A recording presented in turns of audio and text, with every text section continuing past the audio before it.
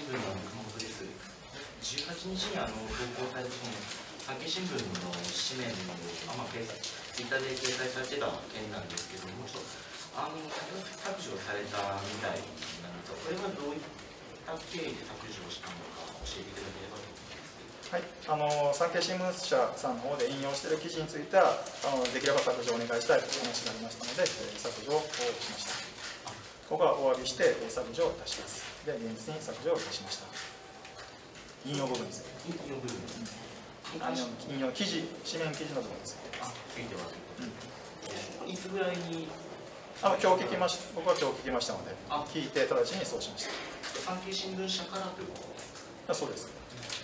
いやだってそれ毎日新聞社から質問があってやり取りしたからその流れだと思います。あその流れわかりましたちょちょっと聞き坂した話もあるんですけども21年のちょっと1月19日にもですねあの読売新聞さんの記事が今投稿されたままになっているんですけども、まあ、これもあの今後読売さんからちょっと削除してくれというふうになったばさりですそれは同じ話ですわかりましたすご僕もちょっと勉強で本当申し訳ないんですけど今回の件って著作権を侵害はしていないのか。と思うですが。あの引用ですので、えー、著作権の侵害とまではならないと思ってますが、ただここはやはりあの産経さんの記事ですから、そこについては削除をお願いしたいということであれば、それはやっぱり引かれるべきだと思います。あの毎日新聞さんのあの記事の都構想の前のですね、あの218億円の記事もこう板に貼っていろいろ活動に使われたりとかいろいろしてました。あの新聞の使い方っていうのはさまざまあると思いますけれどもそういったあのやはりあの記事書かれた方がこれはちょっとやめてくれということであればこれはやっぱりやめるべきだと思うしだからそれはあの、まあ、僕素晴らしい記事だと思って自分の主張を、まあ、ある意味伝えるために引用したわけですけども、まあ、そこについてはあのまあ、速やかに撤回するということです。あともう一点なんですけれども、ツイートに関しては、あれは公務になるんですか、ね、いや、公務じゃないです。僕が政治家として勝手にやってることです。政治家としてやってる。あ、わかりました、以上です。NHK の佐藤です。あの本日あの東京の方で岸田総理大臣とあのバイデン大統領が日米首脳会談が行われましたけれども、会談についての受け止めは副大統領あの日米同盟がこれまで以上に強く強化する関係になるということを期待したいと思います。やはり、まあ、今のロシアのこの侵略があり、中国、北朝鮮が軍事力を強める中で、やはり日米同盟ということは非常に重要ですし、この日米があの協力パートナー関係を強化するということは重要だと思っています。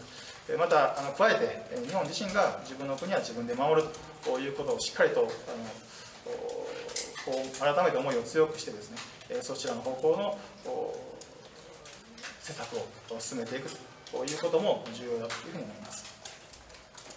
会談の中であの中国などを念頭に日米両国の、抑止力対応力を強化すると確認されたりしたりあのウクライナ情勢をめぐって、まあ、インド太平洋の影響を話し合ったりという議題もあったみたいなんですけれどもそういう議題が話し合われたというかこれはやはりあのもう当然のあの状況だと思います。中国の軍事力もここ10年、20年でも右肩上がりであの急拡大しているわけですし、あのロシアの今の状況、また北朝鮮は核兵器を持っているという状況でもありますから、それについて、やはり平和を維持するために抑止力を強化する、日米同盟を強化する。ここはやはりあの日本人として日本国民自身はまず自分たちの国は自分たちで守るということを前提にした上で日米関係を強化するということはやはり重要だと改めて思います。これはこのここ近年の近隣が軍事力を拡大しているということ、まあ、これはあの事実ですからそれに対してバランスが崩れないようにしっかりと防衛するあの国民領土領空領海を守るということが重要だと思います。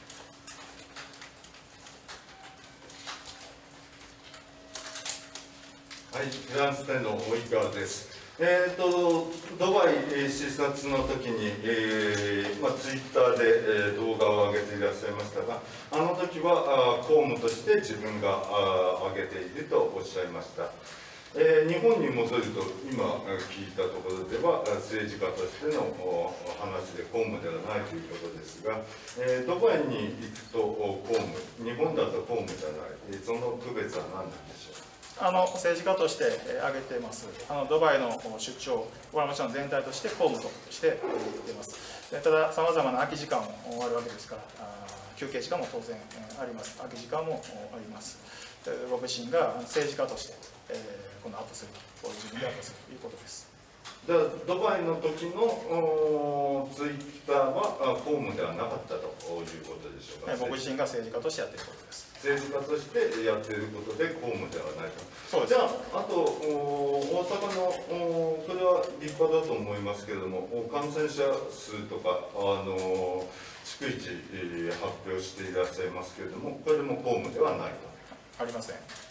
わかりました。えー、と最後に伺います。えー、三崎えー衆議院議員、えーまあ、アジア大学の講師えーではなかったと大学側もお発表していらっしゃいます。えー維新としてはあ離党もお除名も離党勧告も除名もしていらっしゃらない。えーその対応については、えー同意されますか？藤田幹事長が対応しています吉村さんとしては意見はありますか？藤田幹事長が対応します吉村さんとしては何にも意見がないということですか？藤田幹事長が対応しています対応する際にアドバイスはしますか？藤田幹事長が対応します。対党応として党として対応している通りです。党としてって、えー代表おお二人いらっしゃる。どちらでしょう？党として対応しています。藤田幹事長が対応しているということです。藤田さん、えー衆議院3年、えー全部藤田さんにまで投げ幹事長です。幹事長です。はい。馬場さん会見出てきません藤田さん、えーとお祖母があ起きてますが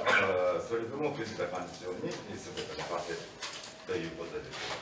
ょうか。祖母は起きてません。えーじゃあ、えー今後の決定は、えー、全て藤田幹事長がなさるということでしょうか。何の決定を言ってるか意味わかりませんまあ、あー維新の会、えー不祥事リスト多すぎて、えー述べられませんが、あ不祥事が起きたとき、対応は藤田幹事長に一任ということですか。そんなことは言ってません幹事長は幹事長として対応していきますじゃあ、三崎議員のことだけは藤田さん、他はまだわからないということですか。党だけはということではありません藤田さんは幹事長ですから幹事長として党を代表して対応していますそれ以上でもそれ以下でもありません以上ですはい。ありがとうございます。ごめんちょっと一点追加で毎日新聞なんです。あのちょ読売新聞さんの21年1月のちょっとツイートなんですけどもこちらの許可の方は取られているんですかねいやこれは許可取ってないです。取ってない。んですかあわかりました。で今今の現段階で何かこう言われていることはあのありません。ます了解しました。ありがとうございます以上です。あ産経新聞もう少し話話していいのかそれやめたらいいか。あ。やっぱりやめときます、うんいいです。特にないです。はい他にございますでしょうか？これもどっちかまとめてもらえませんかね？行ったり来たり行ったり来たりしてるんですよああいやあの一点あのご家族がココロナになられて後遺症とかないかお元気でいらっしゃるかということを伺いたかったんですお伝えすることはありませんがわかりましたありがとうございます他にございますでしょうか？それでは知事確実である終了いたします。